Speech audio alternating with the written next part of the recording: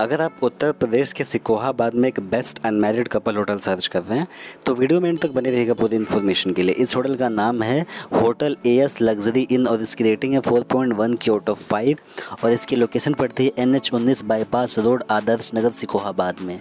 इस होटल का जो चेक इन टाइम है, वो एक बजे का है और जो चेकआउट टाइम है, इसका वो ग्यारह बजे का है।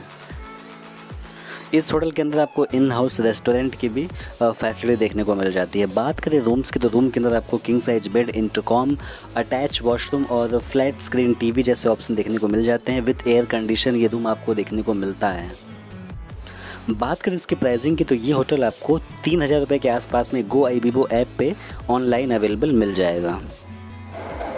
तो उम्मीद करता हूँ कि आपको ये इन्फॉर्मेशन पसंद आई होगी। अगर आपको ये वीडियो पसंद आई तो वीडियो को लाइक और चैनल को सब्सक्राइब ज़रूर करें, ऐसे ही होटल रिलेटेड वीडियोस को देखने के लिए। जय हिंद।